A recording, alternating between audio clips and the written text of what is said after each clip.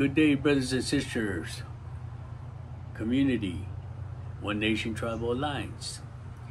Today I am continuing again with our back porch talk.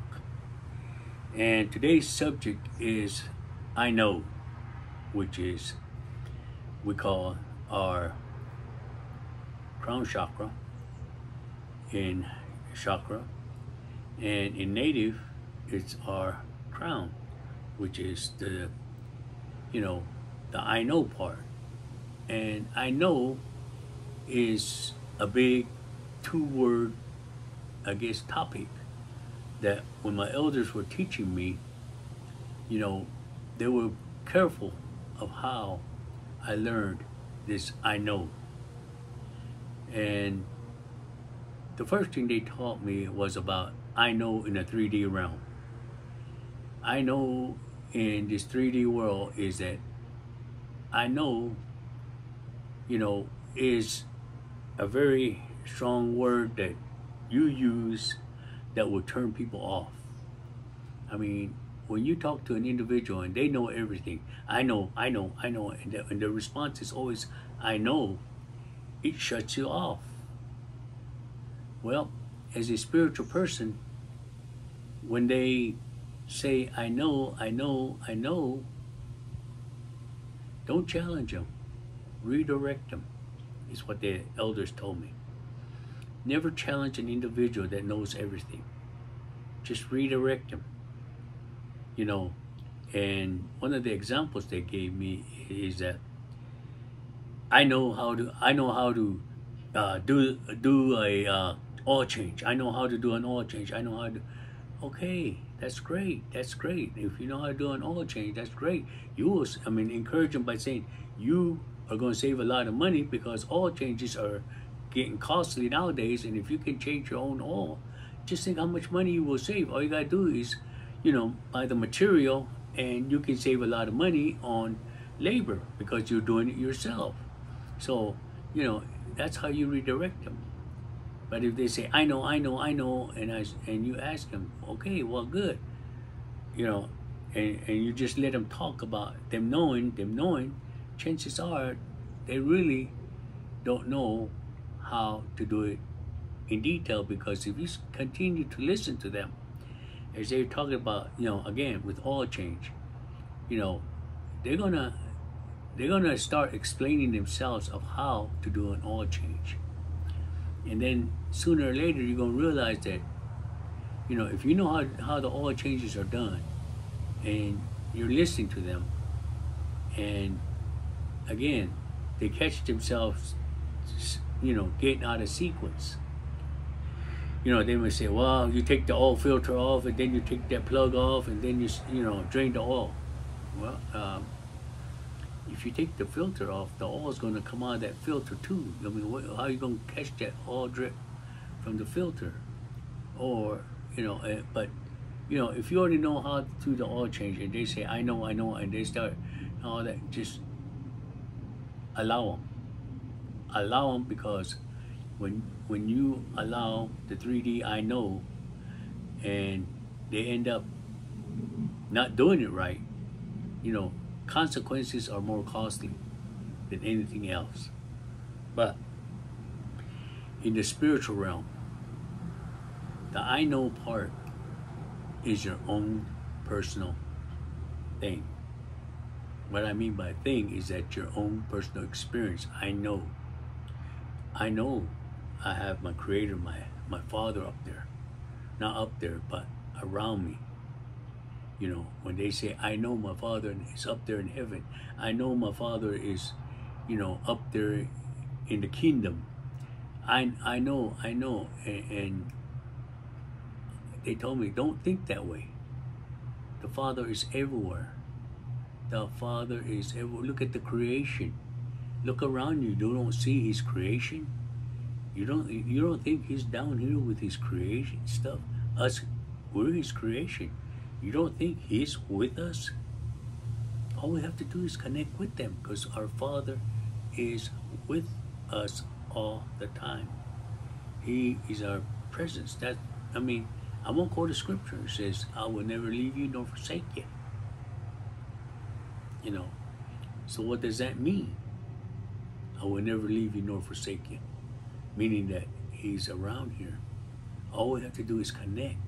And that's the whole thing behind being in the spiritual I know part is to connect not only with Father, but with Mother. Mother Earth. We're walking on Mother Earth. We're on Mother Earth. And as it says, you know, we need to realize that I know in the spiritual realm that it's personal, it's within us. Nobody else can do it for us but ourselves. And once you get that feeling, once you understand the I know part in the spiritual realm, you know, you, you start connecting. And by connecting, you will see that you will find out a lot of things that are planned out for you. And that's when you start seeking your inner journey. When you start connecting, you know, start seeking your inner journey. You know, one of the things that I've been experiencing, I guess, for the past year, is that every night I, I, I can go to bed no matter how tired I am. I go to bed. And finally, well, and at 3 o'clock in the morning, boom, my eyes be awoken. I wake up and, you know, I say, well, maybe I just need to go use the bathroom. So I go to the bathroom, use the bathroom, and go back to bed and try to go to sleep again from waking up. And chances are it would take a good 30 minutes to an hour to go back to sleep. And, you know, at first my excuse was, oh, I'm getting old. That's just part of the things getting old. You know, you got to get up and use the bathroom every so often during the night. So maybe that's why I'm getting up. But as I was told in the past, if you are woken up at 3 o'clock in the morning, chances are they want to talk to you. Connect. Connect. Because if you accept to be here on a mission on Mother Earth, you will accept to connect you know, and you know, so in our mind, you know, what does it look like when we know? What does it look like when we connect? Well, what it looks like to me is that I feel the compassion, I feel the love of Mother Earth because she's nurturing me. I feel the healing that she is giving me. You know, Father, I feel the love and the healing that He is giving me to continue His mission because He don't want a broken car out there trying to do a mission. No, He wants a full part, well equipped, well running vehicle out there doing it. You know, I am doing you know, my mission. You know, you know, as I am. I'm not going to say and have self pity on me if I can't walk or if I'm sick, if I'm this and that. I can't do that. You know, I know that my spirit will heal the body. You know, sometimes we we look at this way. I look at it this way. When my elders told me, when you feel sick, hurt, whatever, and you know you have a mission, get up and do the mission and watch the illness go away. Watch the dark run away from your body. You will self heal yourself as you're doing your mission because you're not giving up. Just moving forward you know, and whatever the attachments are, sickness, cold, whatever. they're going to run away from you because you are doing the Father's mission. You know, in my mind, get your mind strong to where you can do all that. And, you know, you also have to look at it as in the mind, when you know, you have to seek to say, how am I going to carry this 5D life, fifth dimension life on a 3D world?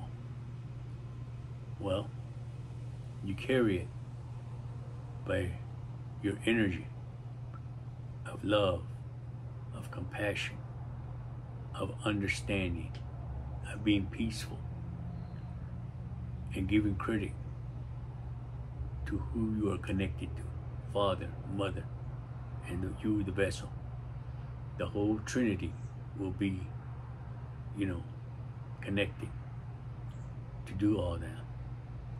And the whole Trinity will get connected Father, Mother, Body, you. So, in spirit, that's what I mean. Connecting using the Trinity. You know, your mind, body, and soul. Connect all three as you go into the I know part because, you know, your mind and your body, if you allow your spirit to control your body, and then two of them can get to control the mind, your connection, you cannot go wrong. You cannot go wrong staying connected. And you just can't be connected like, you know, a lot of, you know, as we say, a lot of religions do. You know, I'm not being negative about anything, but I've read in some of the things that, oh, we had a wonderful, wonderful, you know, religious event. I experienced a wonderful blessing. Now I got to get back to work. Now it's back to the to the world. Now it's back to the city. I've done my duties, my spiritual duties. Now it's time to go back to the city life. That's not the way it should be. When you get done connecting, you know, don't let it end there. Stay connected. And if you feel you're not connected, get back and get connected. It doesn't take long to get back connected. So, in the spiritual realm, you know, in the spiritual realm, when you are connected, you know, there are several things you know when you are connected in the spiritual realm. First of all, you know, if you're living in the spiritual realm and something ain't ain't right happens in front of you or it's going to happen in front of you, you get a gut feeling. What does that gut feeling look like? You know, why does why is your body reacting? Because your spirit already knows what it's fixing to get challenged with. So you get that gut feeling to maybe redirect you. You know, sometimes again, you're in a rush to go to work, you're in rush, rush, rush, rush, rush, and you go outside and something happens to slow you down. And automatically, a lot of people will start get mad, cussing, everything, because they know they're going to be late for work and everything in the whole nine yards. Well, it's really not a big situation if you communicate. If you're in the spiritual realm, you can look at it many different ways. You can say, okay, it's slowing me down. Maybe I need to slow down. Let me communicate the situation to my supervisors. Tell them what's going on. They will understand the situation. I have a flat tire. Let me fix my flat tire. I may be coming in 15 to 20 minutes behind my scheduled time. If you have an appointment, call ahead. I'm scheduled for an appointment at 9 o'clock. This is what I'm encountering. This is so cool. I can either be late or reschedule. You know, communicate. Spiritual realm. If the spirit say he's trying to protect you, maybe he put that flat tire so he will avoid what was to happen. Remember, we live the now. The spirit is ahead of us. Spirit knows. Now, when we connect, we need to let our spirit know. The other one is, again, which is the same, almost, the gut feeling is almost the same as your, you know, intuition. If you have a very intuitive mind, you know, all I can say is, you know, be op- be open, don't be judgmental, and follow your intuition. You know, because it's there to present ahead of us. And when it presents itself, yeah, it might present mysteriously, but accept it. Because if you're in a 3D world, you are so busy with everything else to where sometimes we ignore our gut feeling and our intuition and we get in trouble.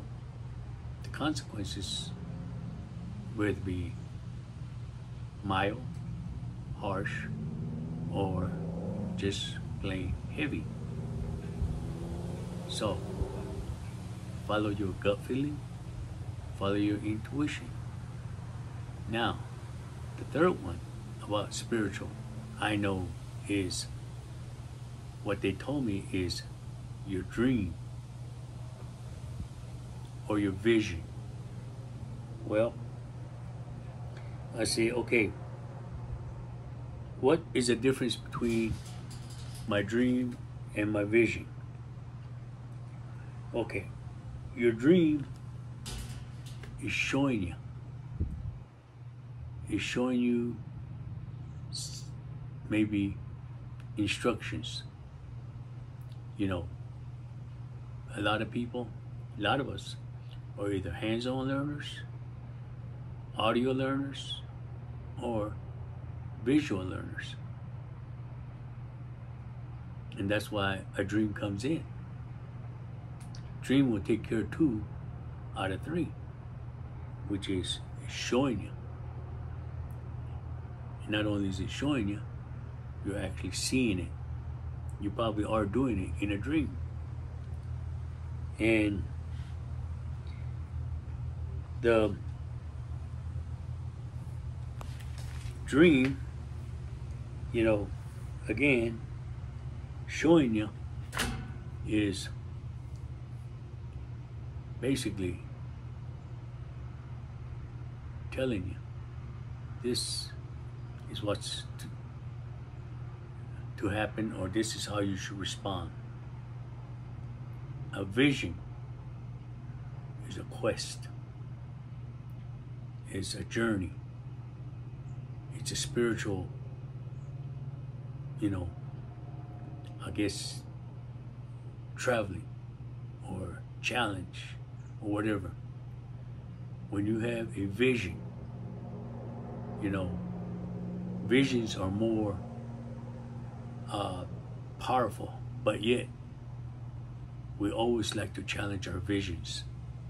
A dream, we can take it, our instructions, and we could let it go or we could keep it. You know, a lot of people, when they first wake up, oh, I dreamed about this. They talk about their dreams, which is good because they're learning from their dreams. They're being instructed in their dreams. Because once they say talk about their dream, they say, okay, it's telling me this. And they will understand what their dream was instructing them to do, showing them what to do. But a vision is instructing you.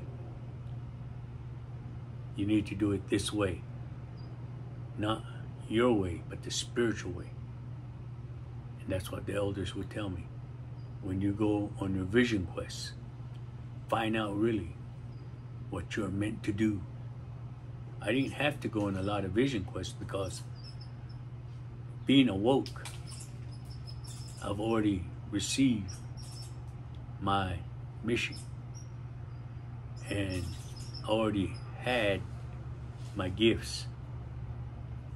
The modalities that was taught to me is just, again, protection, cleansing, and understanding. So, in the spiritual realm of I know, look at these things. Because on the self part, the self part on on you is I know is your self-control. I know my self-control.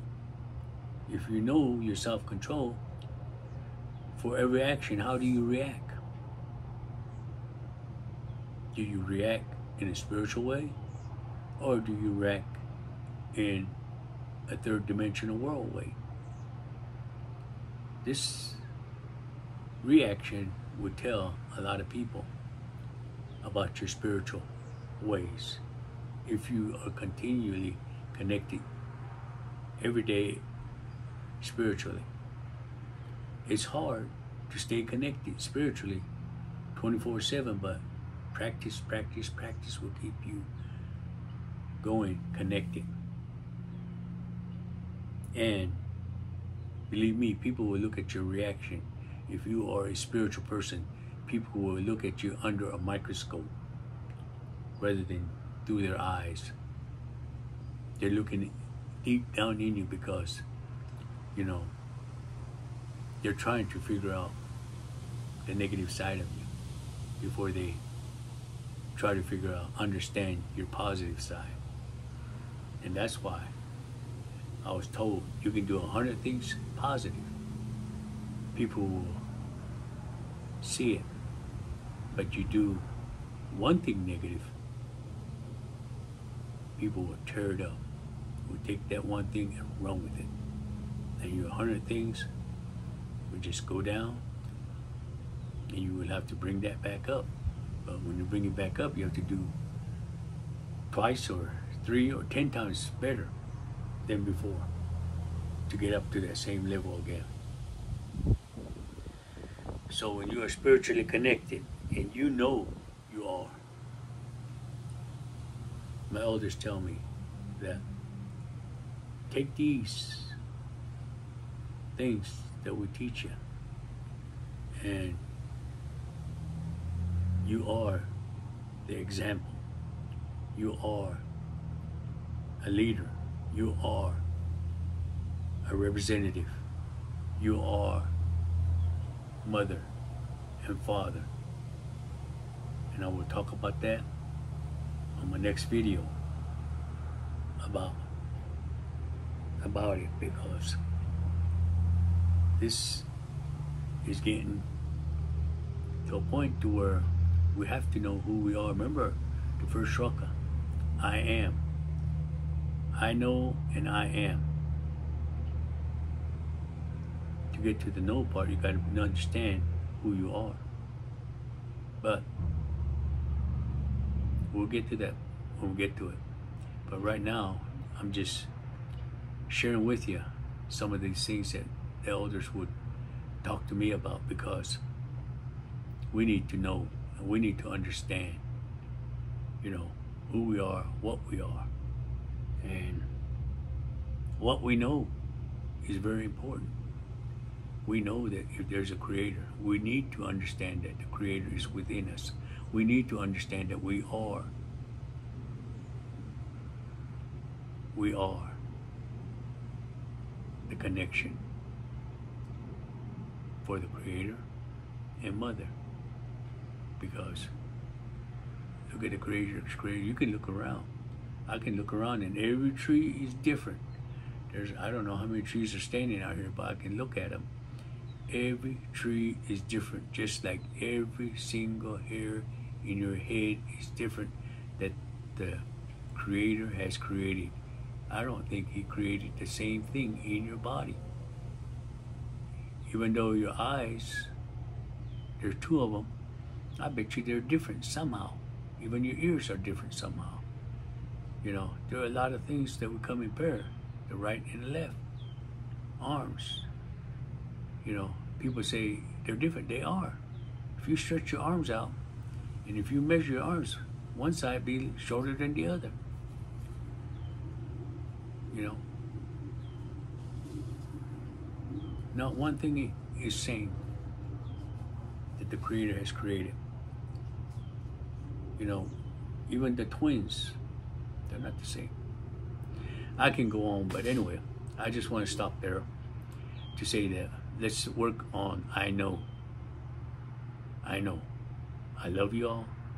And again, this is my back porch talk. And I will reach down and turn the button off as I close and say, I love you all. Y'all have a wonderful day.